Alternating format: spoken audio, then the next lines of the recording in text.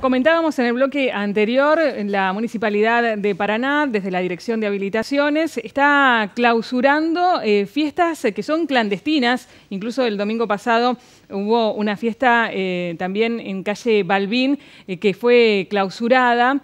Eh, y esto mm, tiene también eh, algunas consecuencias en cuanto a los organizadores eh, que comienzan a tomar algún tipo de precaución o no, tratan de evadir estos controles. Es por eso que está con nosotros Orlando Gómez, que es director de habilitaciones comerciales de la municipalidad, y Fabián Rueda, subdirector. Muchas gracias por venir. No, por favor, a su disposición estamos. Bueno, es tan así que em, todos los fines de semana están haciendo clausuras de, fiestas? Sí, sí, se ha intensificado un poquito, eh, tanto como los eventos no autorizados como, como las previas que se le llama. Nosotros, en conjunto con el señor subdirector, que generalmente este, se ha abocado más en la parte nocturna y cuando, cuando se, es complejo, este, requiere también la ayuda de la policía y, y vamos en conjunto a hacer la, los operativos.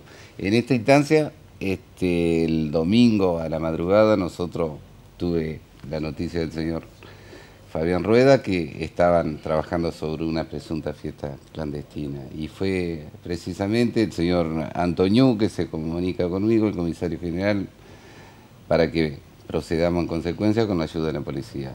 este, nos contactamos en ese lugar que era calle Balbini, cortada 864 y ahí este, percatamos la presencia de, jóvenes, muy jóvenes, y con un cobro de, entrada de 300 pesos.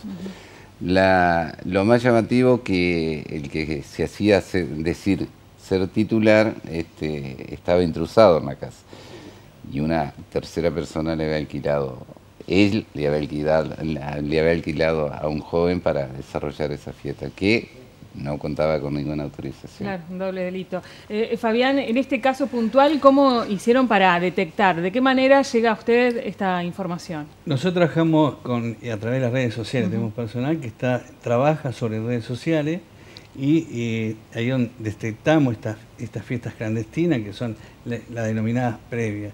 Esto no solamente lo ocurrió este fin de semana, sino nosotros vemos por ahí con un grado de irresponsabilidad también que hay instituciones intermedias que le alquilan a estos jóvenes. Tenemos el camping de Soever, eh, eh del centro de comercio, donde nosotros nos presentamos y los responsables son menores de edad. Es decir, hay, esto no se puede hacer. Tenemos la ordenanza 7594 que prohíbe el consumo y venta a menores de edad. Eh, el fin de semana anterior estuvimos entre las 5 y 6 fiestas clandestinas donde hablamos con quien organizaba y suspendieron. En este caso, la que ocurrió el día domingo, nosotros estuvimos trabajando a la mañana, estuvimos de las 16 horas hasta las 22 y luego de las 0 horas hasta las 3.30 que cerró el acta y logramos el desalojo de los chicos que estaban en esa previa, sin ningún tipo de seguridad, no había ningún tipo ni elemento de seguridad, era una quinta intrusada, eh, quien organizaba eran menores, esto fue público porque tomó conocimiento en algunos medios donde eh, nombraban un bar céntrico donde rendían las entradas y las invitaciones se hacían por privado.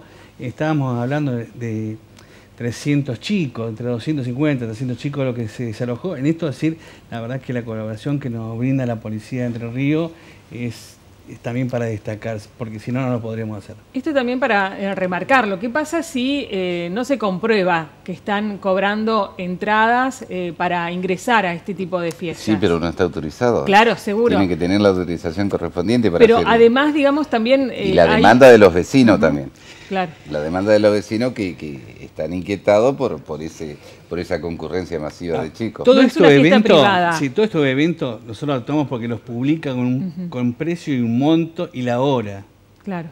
Y cuando nosotros contratamos el lugar, tiene una lista de invitados, digamos, previo al pago de, esa entrada, ¿no?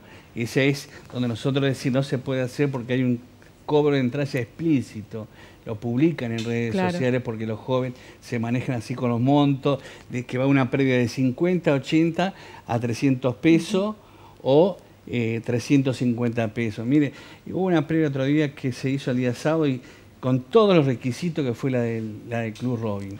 Sí. hizo una presentación previa, 60 días antes, con un costo de entrada, policía adicional, elementos de seguridad. A través de la dirección general se le dio la capacidad del predio que ellos iban a ocupar. Y la verdad fue una fiesta sin ningún incidente. Y la responsabilidad de quienes la organizan, que no vendieron entradas a menor edad. Nosotros estamos trabajando hace 3, 4 meses con, eh, con el contribuyente, con tiene un comercio. Un ejemplo fue lo que se desarrolló el día domingo con los chicos del último día. Es decir, había dos lugares, tanto Parque Urquiza como el hipódromo. Nosotros con el director general trabajamos, nos abocamos a trabajar en las notificaciones previas de lo que eran las zonas aledañas. Asimismo lo hicimos en la zona del hipódromo. Y trabajar en conjunto, a veces entre Estado y privado, tiene su resultado negativo y o tiene sus resultados positivos como los que llevamos el día domingo, donde por decisión propia aquellos comercios que tenían abiertos sus lugares no expendieron bebida alcohólica y nos solicitaron un punto fijo para la verificación que así no lo estaban haciendo. Se vendían gaseosas, galletitas, digamos, todo lo que los jóvenes consumen a la madrugada, pero fue una decisión propia por aquellos lugares que estaban abiertos de no expender bebidas alcohólicas. Eso quiere decir que está dando fruto el trabajo que estamos haciendo de la dirección general en cuidar a los jóvenes en las noches de disfrute. Yo creo que por ahí no, no, se, no los padres no medimos las consecuencias cuando no hay control de un adulto en este tipo de fiesta eh, privada. Es decir, nosotros tuvimos una experiencia en lo particular el día en la madrugada del domingo, donde nosotros estábamos con el personal trabajando, nuestra camioneta identificando a la dirección de la municipalidad. Hablamos con algunos padres que depositaban sus hijas ahí, todas menores de edad, que, diciéndole que no la dejaran porque esta fiesta en cualquier momento iba a ser desalojada. Y la respuesta me sorprendía, que se la arregle después. Claro y una, respuesta que por ahí un poco molesta, molesta en el sentido porque ese mismo padre, si la fiesta hubiese transcurrido sin ningún tipo de mayor controlándola, la ingesta de alcohol, al primero que lo reclama es al Estado, es a nosotros. Y nosotros le estamos diciendo, por favor, no me la deje porque la vamos a cortar. Entonces pedimos también que se involucren los padres en cierto sentido, ¿no? Como a la institución intermedia, como lo estamos trabajando con los, con los boliches, como lo estamos trabajando con los drastos, como lo estamos trabajando con los bares, que hemos tenido, la verdad, una respuesta espectacular lo que fue este fin de semana. Es decir, todos trabajaron. Es un rubro donde son empresarios pero supieron escuchar lo que hemos planteado de trabajar todos junto con los jóvenes. Él hacía hincapié, perdón, hacía hincapié en los boliches también, los controles que llevamos adelante nosotros. Nosotros eh, hace dos sábados atrás, también en un boliche de calle Bravar, tuvimos que desalojar alrededor de 25 menores que no excedían los 13 años. Que dentro del boliche los mayores compraban bebida y le daban a los menores. Yo te, pienso que tienen que ser responsables los dueños de los boliches también. Existen las legislaciones vigentes que, tienen que cumplimentar. Al mismo tiempo le hago, hincapié en un llamado de atención también para el centro comercial, en lo que concierne que esto que detectamos el domingo, los chicos habían adquirido la entrada en un comercio muy popular de, la peatonal, ahí donde se le vendía la, entrada. Yo le pido a los a los grandes comerciantes ¿no? que se asesoren a través de la dirección de habilitaciones, que si ellos van a vender, que están en todo su derecho, van a vender las entradas anticipadas, que se asesoren ante la dirección de habilitaciones si están autorizadas esa fiesta o no. Si no, caemos en la misma, en la clandestinidad.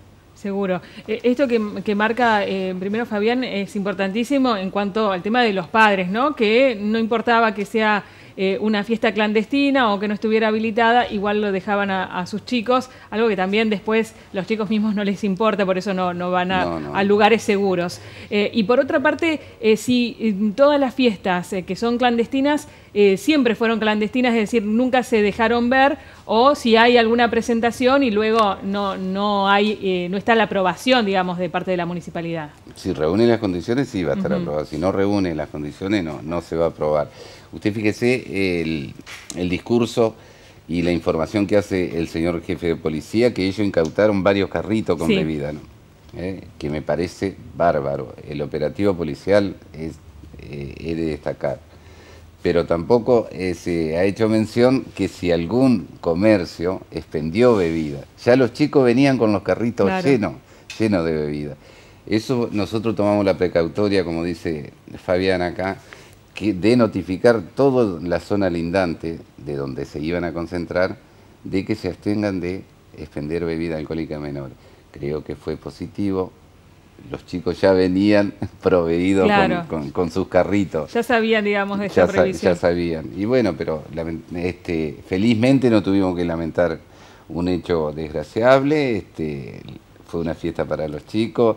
El Estado Municipal le indicó un lugar donde se podían concentrar y llevó adelante con buenos con buenos términos el señor Weber, que estuvo encargado ahí de, de la organización y con el acompañamiento de distintas áreas del municipio.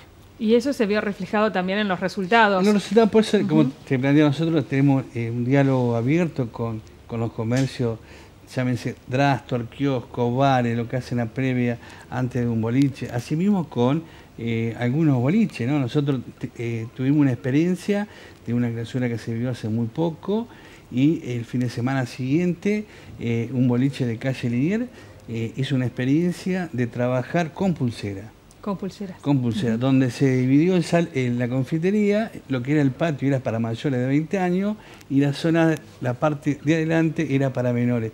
Totalmente dividida.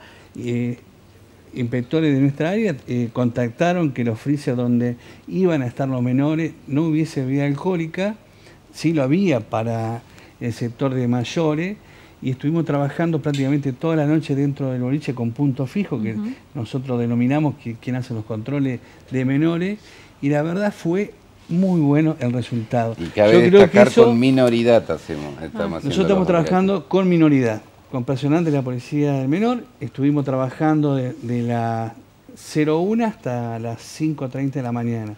Y la verdad fue una experiencia buena, porque no hubo los chicos se mantuvieron dentro de la zona marcada, mayores con pulsera, menores sin pulsera, y así lo, estamos haciendo en otros sectores. Es decir, la pregunta tuya hacia Orlando, si hay fiestas que nosotros eh, no se hacen previo a la autorización. y estamos alrededor de cuatro o cinco expedientes donde los lugares no dan las condiciones de seguridad. Se es evaluada a través de la dirección técnica, digamos, con, con un carácter serio, incluso se piden memorias técnicas, hemos rebotado memorias técnicas en algunos casos, donde no, se puede desarrollar. Nosotros tenemos, es decir, hoy tenemos un objetivo que lo ha el gobierno de la ciudad, es cuidar a nuestros jóvenes. Ese objetivo nosotros hace. Tres meses que lo venimos trabajando por ahí, eh, en lo que no se ve, en lo que no se escribe, en el trabajo silencio, mano a mano con, los empresarios. Y está dando resultados para nosotros, como dijo Orlando, lo de la experiencia del domingo de los chicos festejando eh, el, último día de, clase dio resultado, porque fuimos acompañados por ese sector de empresarios que decidió no vender alcohol, sí tener abiertos sus locales, pero no vender alcohol. Y eso da que estamos entendiendo la política que queremos llevar para los jóvenes. Eh, es muy eh, importante lo que ustedes remarcaban, que no se conoció, por lo menos en los medios, el hecho de este boliche eh, con un, sector para los mayores y la identificación con pulsera para los menores y el constante control de los inspectores de la Dirección de Habilitaciones. En este caso, ¿es el empresario el que propone este tipo de eventos y ustedes lo controlan? Sí, con los empresarios tenemos un buen diálogo, eso, eso para evitar lo que sea clausura, lo que sean sanciones, este, como la tratan de, equilibrar más o menos la actividad comercial que desarrollan. Tenemos un buen diálogo y, creo que consensuamos mutuamente cómo podemos desarrollar la actividad que ellos este, lo hacen durante la noche. Quiero destacar también la, tarea que hacen nuestros inspectores. este, tenemos este, señoras, señoras grandes, casadas, que dejan sus hogares para venir a cumplir, a cumplir sus tareas, que también son destinadas a controlar los baños femeninos de los boliches. Tenemos un grupo de, varones también que se ocupa la parte masculina también, que quiere decir que, que, ahí hemos sectorizado también lo que le corresponde a la parte femenina y lo que le corresponde a, a la parte masculina. Es un conjunto de la Dirección de Habilitaciones que está poniendo énfasis en lo que se nos puede escapar algo, pero hoy el Estado municipal está atento a todo el desarrollo que, se, viene haciendo en cualquier clase de evento. Y también esto que em, me remarcaba Fabián, de tantas horas, ¿no? Desde la tarde hasta la madrugada. Sí, por, eso decía, es el trabajo que, eh, que no se ve, que no se ve y que no se escribe. Y un trabajo de esta fiesta nos llevan a hacer un trabajo de las 8 de la mañana a la madrugada, porque eh, localizar lugar, hablar con quien organiza, la mañana, la tarde, mediar que no se haga, que disponga la actitud de no hacerla. Es como, y creo que lo vamos logrando, es como, no, digamos, no estamos en un 100%. Hoy hablábamos justamente con el tema esta de los chicos que festejan el último día de secundaria. Una fiesta que se tiene que calcular hoy en 10.000 chicos, ¿no? Si lo dividimos por la cantidad de chicos que ocuparían un aula en el secundario, que va entre 30 y 34 chicos, no hay eh, matrícula para 270 chicos grados secundarios en Paraná. Una fiesta que hay que trabajándola porque creo ya se impuso el modismo como el primero de enero, como el 21 de septiembre y el último día, ¿no? Pero vamos mejorando desde el Estado lo que es el contralor y, por las dudas, eh, también para tener en cuenta, puede haber un bis del último primer día. El día martes. El día martes, el día martes. Eh, están, están hablando, sí. Incluso eh, también hablaban de mañana, mm. porque recordemos que hay paro docente en ACMER ayer y hoy, y mañana muchos retoman la Nosotros no, no, no, noticiamos para el martes. Para el martes. Para el martes ellos prevén, prevén algo. Así que lo que trabajamos, que, a ver, que, si el espacio de disfrute de los jóvenes está habilitado, que festeje. Y se puede festejar sin alcohol. Seguro. Nosotros, de lo que es aquellos lugares que están habilitados, podemos garantizar que ese festejo sea sin alcohol. O no. Por eso, si el trabajo que estamos haciendo con los empresarios es importante y el apoyo que hemos tenido en los últimos meses es importante. Por eso es decir, todo el trabajo en el Estado y privado creo que están dando resultados, todo depende de cómo se lo trabaje. Yo creo que hoy la problemática no es si hay una fiesta clandestina, no si hay una fiesta autorizada. Yo creo que la, problemática hoy que tenemos los padres, porque somos padres de hijos adolescentes, ¿no? Es el alcohol. Seguro. Es el alcohol. Es decir, el alcohol hoy, digamos, es un modismo más para los chicos. Y nosotros ese modismo tratamos de corregirlo, es decir, por eso que también pedimos decir que esto lo discutamos entre privado y padre. Si querés una previa, venite, te vamos a atender. Andá con tu papá, te vamos a decir cómo tener que organizarla, cuáles son las medidas de seguridad y te la vamos a controlar. Les agradecemos mucho su presencia. No, por favor. Porque es muy bueno también saber qué es lo que están haciendo y de qué manera eh, se puede controlar y contribuir, ¿no? Se nos viene la fiesta del mate ahora. Y viene la fiesta del mate, claro. Pero eso es gratuito, sin, costo, así que esperamos nuevamente que Paraná disfrute de una gran fiesta como es la del mate, como he tenido, hemos tenido varias fiestas. Les agradecemos mucho. No, por favor. Muy amables.